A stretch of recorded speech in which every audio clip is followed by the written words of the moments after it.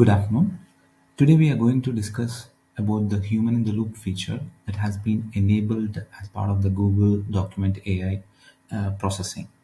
So just to give an overview, uh, Document AI is a solution that is used to process different unstructured data, something like the documents, forms, images, and uh, makes data easier uh, to understand and analyze for further processes. So usually there is a lot of manual intera- interaction that is uh, involved in uh, processing uh, these documents. And uh, document ai helps it to automate uh, a major portion of that. So google has enabled a lot of parsers like invoice forms expense w2 1040 parsers.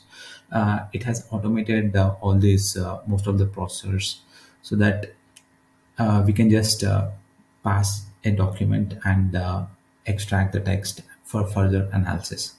So as part of this slide, uh, we are uh, going to see uh, the new human in the loop uh, feature. So previously, whenever a document is processed by the document AI, there is no manual intervention as part of this workflow. So here in this slide, we can see that uh, once the a document is pushed to the cloud storage and uh, it is uh, processed by the processor. It may be an invoice or form or expense parser. Then based on the different parameters something like the accuracy we can just uh, pass it over to the manual verification.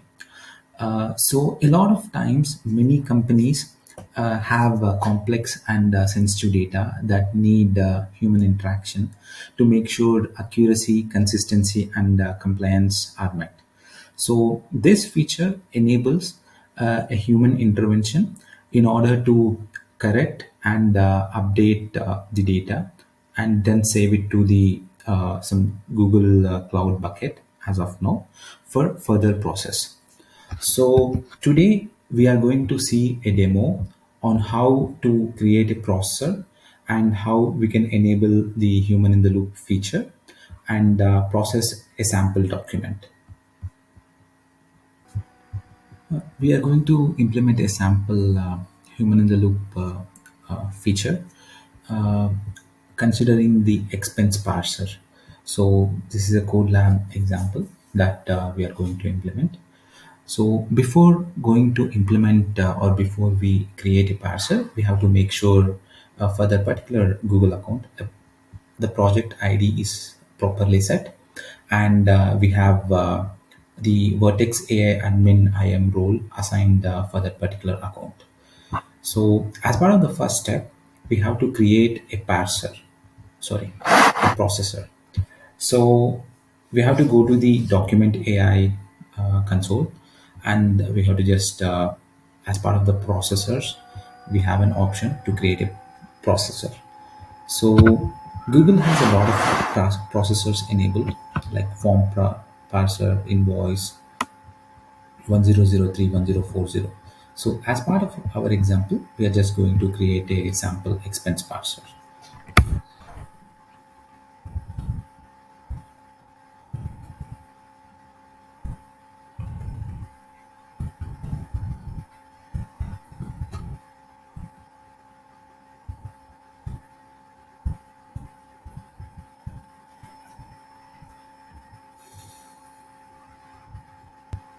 So there is no need to select any advanced options. Just uh, go ahead and uh, create a parser.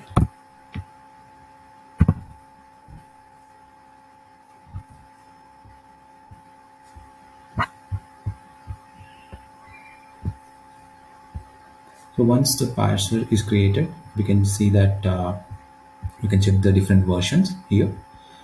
So uh, here the default version is uh, Google default, and uh, we can just uh, select the Google pre-trained or Google default uh, next options also.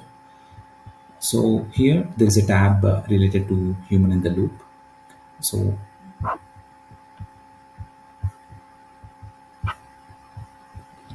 as part of the code labs step, we can just configure human in the loop option.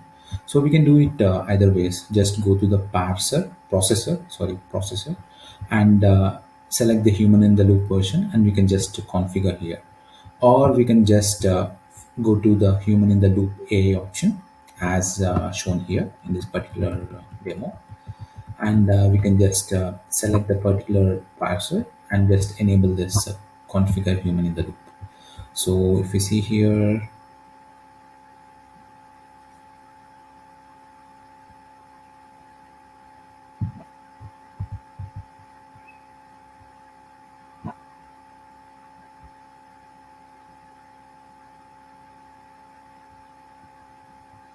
so this is not yet enabled. So we are just selecting this.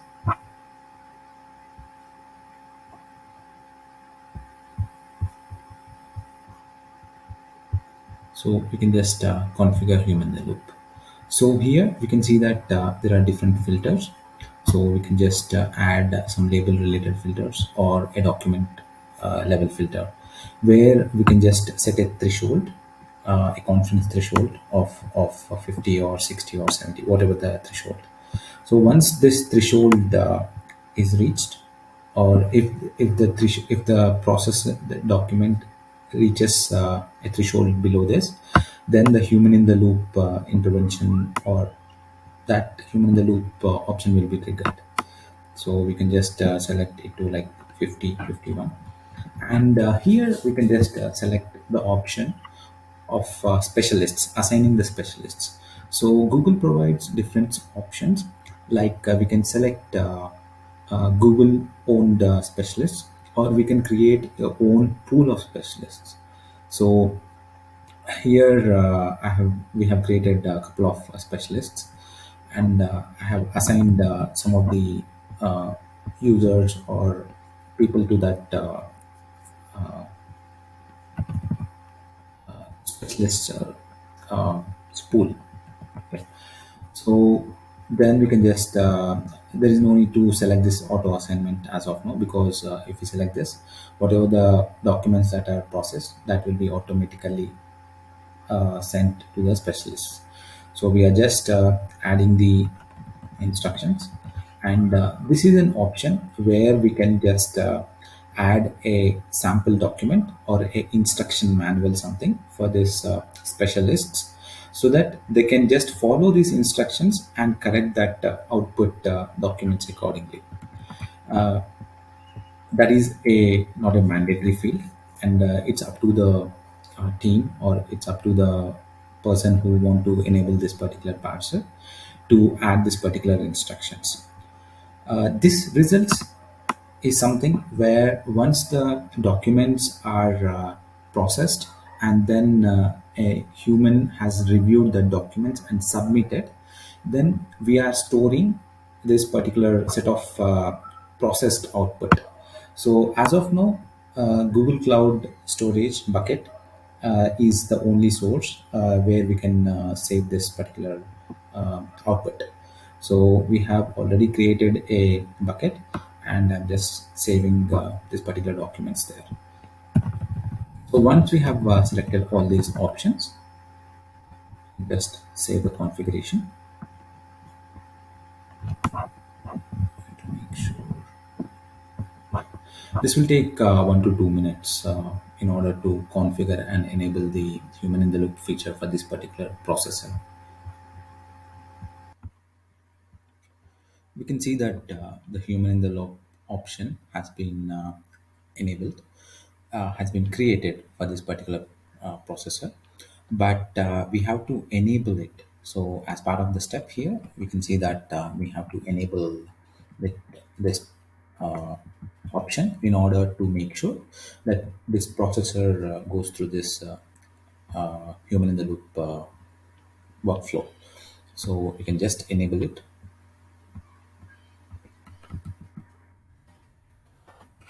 So once this uh, human in the loop option uh, is enabled and uh, during the creation of this uh, uh, processor, uh, we will receive an email from Vertex AI. So you can see some of the options here. This is where we can just check whether there are any ongoing tasks or any paused or completed or unassigned tasks that have been created. We will discuss all these tasks at a later point of time, but uh, for now we have just uh, enabled this option.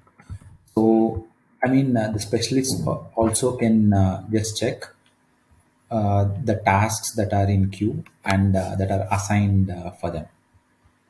So these are the links that where we can just check uh, whether the t- tasks are any pending or for a particular specialist, are there pending tasks that need to be submitted. We can just edit the configuration also at any point of time here.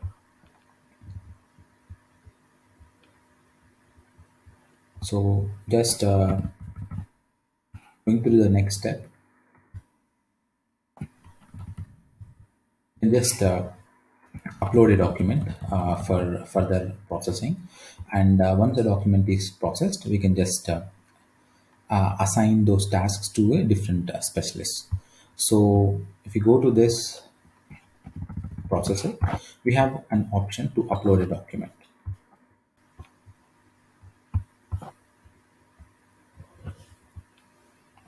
Here just click on this. Upload uh, expense.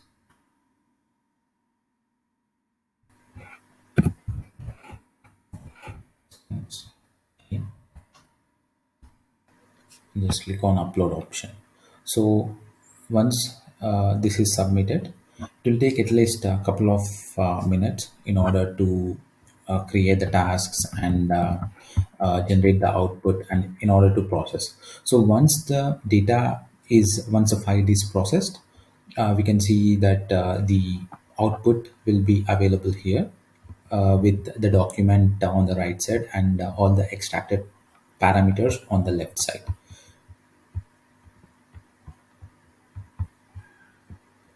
Once the document is processed, you can see this in this particular link. There are uh, different uh, tasks that are created. So if we select the unassigned option, we have all the unassigned uh, tasks, and uh, can see here uh, the last enqueued uh, this parser, the P1 HITL expense parser test P1 uh, we can just assign it to any of the specialists just we have to select this option. Click on the manage options manage assignment sorry. And uh, just uh, type the specialist name. So i'm just assigning it to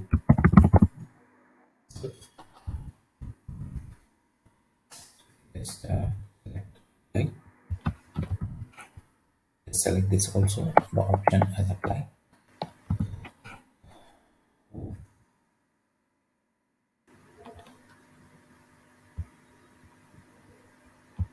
just select this. And uh, once this has been selected you can just click on commit changes. So this will make sure that we are assigning this particular task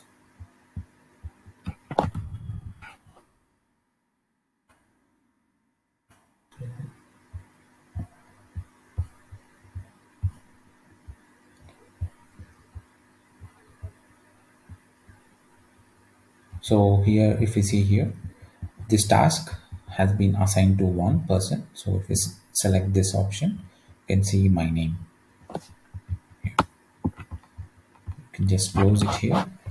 And uh, this is the workbench link or this is the specialist uh, link where we can see that uh, there are a couple of documents. So i have processed one more document so there are two in the queue. Just uh, select uh, uh, the edit option. So this is the human in the loop feature where uh, the specialist can edit update delete uh, different uh, parameters and submit the document. So here we are just editing this particular fields. Wherever it is highlighted we can just edit them. So and just click on the confirm and uh, once i think that all the fields has been edited i can just click on submit. So one document is submitted. We can see that uh, here we have just uh, one uh, task assigned. So again I can delete some things here. I can edit some of the options. Or I can just uh, save it without it doing anything and if you see here it is highlighting whenever we are trying to edit this it is highlighting the fields and the parameters that has been retrieved from this particular document. So if we want to add some additional uh, key value parameters we can just uh, select the text here and uh, just highlight this and add uh, the filter that the parameter that is uh, assigned to that particular value so just as an example if i just consider it as the some option of uh, line item that will automatically appear here. Here finance. If you see here this has been uh, selected here. Uh, once I selected uh, any name that will be any parameter that will automatically appear here so I'm just selecting the supplier name so the supplier name is Jennifer that has been highlighted here so I'm just submitting this so once this is submitted this uh, documents the processed output will be saved to the uh, Google Cloud Storage path, which uh, we have provided as part of this uh, uh, processor. So this is the uh, output. So it will take some a little bit of time, like 10 to 15 seconds, in order to appear here.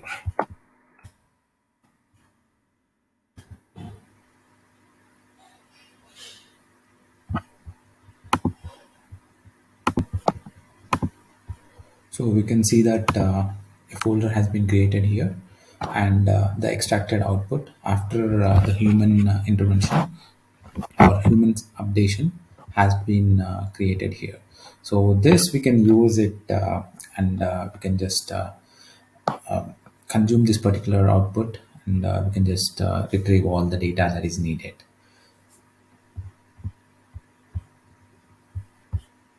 So that is the end of uh, human in the loop uh, processor demo. So we can just enable uh, this option uh, for different uh, processors. Uh, as of now, this uh, HITL uh, option is in uh, beta phase and we are just waiting for Google to push it into the production. Thanks everyone.